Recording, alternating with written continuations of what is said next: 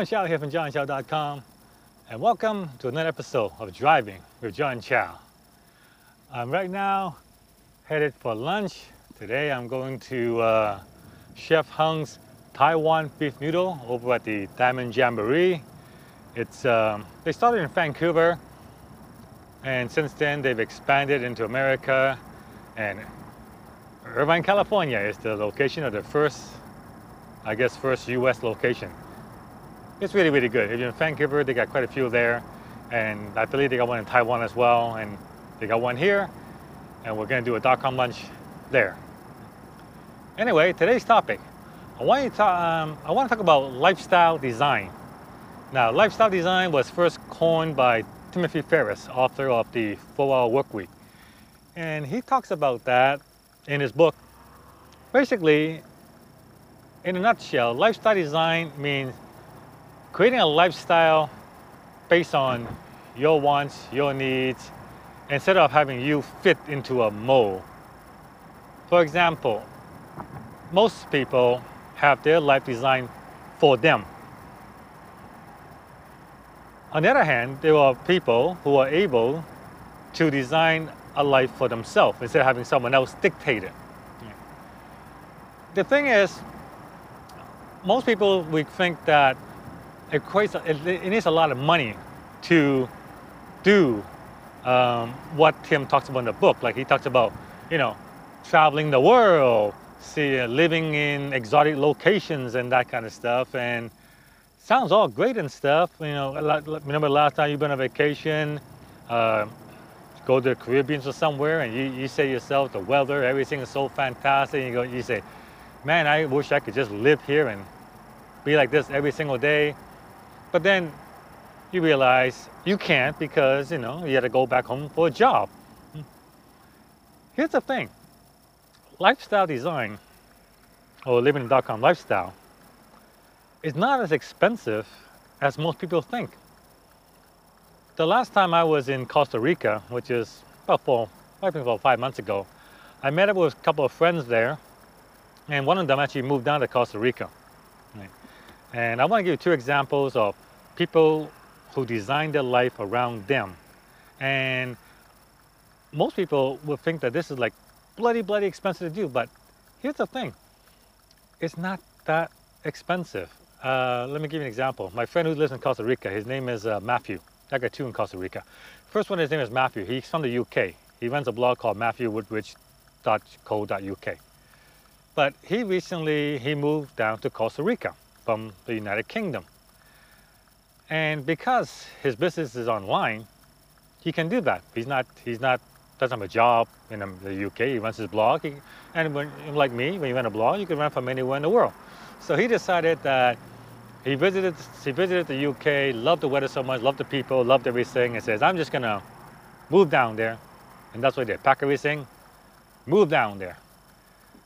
Now, first thing uh, uh, you might ask is, man, that's expensive? He Goes, no, he's actually saving money. First of all, by moving Costa Rica, it's a lot, the cost of living in Costa Rica is a lot lower than the United Kingdom. It's like five times lower. Uh, the apartment that he lives at down in Costa Rica is only 450 bucks a month. Seriously, that's like five times cheaper than, than his place in, in, uh, in, in England. So, and and uh, everything else is just a lot cheaper. And the other, the other thing also is uh, taxes. See, the United Kingdom taxes his, their, their citizens based on their residency. So if they don't live in the UK anymore, they're not subject to UK taxes. Now, Costa Rica taxes its citizen, well, taxes foreigner based on income as well inside the country. But in, in a lot of countries in the world, you only get taxed on money you make inside that country. If all your income comes outside the country, then it's not taxable. Well, Matthew's income is not made inside Costa Rica. So suddenly, he's no longer living in the United Kingdom. He's not subject to UK tax. And Costa Rica, well, to Costa Rica, he's just a visitor and his income is not made inside Costa Rica, so they don't tax him either. So he doesn't pay any taxes any, he doesn't pay any income tax anymore. So right there, that's another 30% savings in savings in income requirement. So just by moving to uh, another country, he can achieve the same lifestyle on 30% less because he's, you know, tax his tax saving. And the fact that Costa Rica is like five times cheaper than living in the United, the United Kingdom, hey, right? Now, uh, another example, I have another friend, uh, two friends, they're Jason and Samantha. They're, they're traveling the world. They're traveling the world. They, they, uh, they were in Costa Rica when I saw them there. Right now they're living in Taiwan. And next month, I'll meet them, I'll meet with them in Las Vegas for the Affiliate Summit. Now you might think that, you know, traveling the world, living all over the world, it's gotta be expensive. It gotta be expensive. Well, it can be, but it's really not that expensive. If you, if you uh, like I said, we always have shown that Costa Rica is like five times cheaper than the United States and the UK. Taiwan isn't that expensive either. That's where they're living right now. They run a blog as well. It's called my10feet, my10feet.com. And the blog chronicles their travels, their travels around the world. Now here's the thing. That blog makes only around two grand a month. It's not that much. 2,000 bucks a month. But yet that $2,000 a month is enough to live wherever they're traveling. Because I guess as long as they don't come to the United States and stay here, they're actually okay. But two grand a month, two grand a month here is barely above poverty. I mean, seriously, it's in Orange County, it's next to impossible to live on two grand a month. I mean, it, it truly is. But in places like Thailand, the Philippines, uh, Costa Rica, two grand a month is a pretty damn good lifestyle. You just gotta basic, you just basically have to go there. But the thing is, most people cannot go there, or most people cannot pack up and move because their only income source is their job, and their job ties them down to one place. So here's the key for lifestyle design.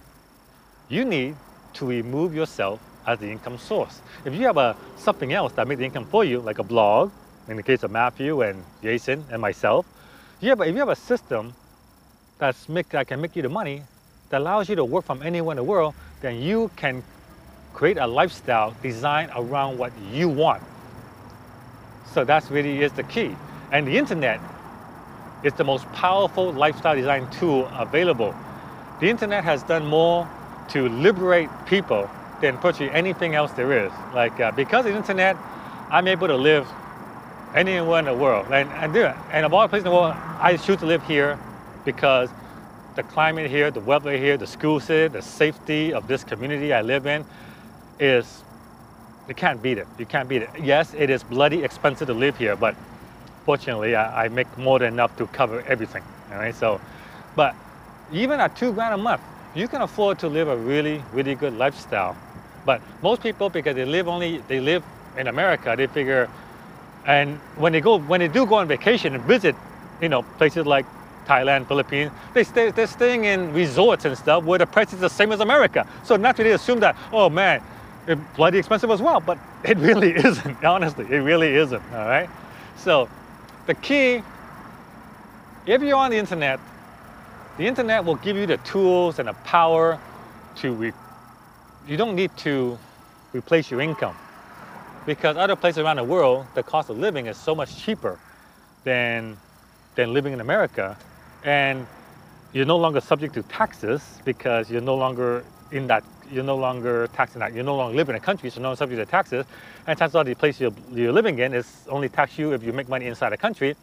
You can free yourself of taxes as well. So you don't need as much money as you would imagine. Like in the case of my friend jason and samantha their blog only makes like two grand a month but they're traveling all over the world living the dot-com lifestyle all right? So take advantage of the internet, guys. You know, take advantage of this guy. Start a blog, read my blog. Look at, look at the stuff that I offer. I teach you how to start a blog. I teach you how to make money from a blog. Look at MTTB. look at MOBE, look at uh, various, whole bunch of stuff you can do. Whole bunch of stuff you can do. Don't be limited by working at a job and get defined, have someone, have someone else design your life. Design your own life, right? John Chow from johnchow.com. I welcome your comment. I'll see you guys on next episode. And like Sally says, subscribe or die.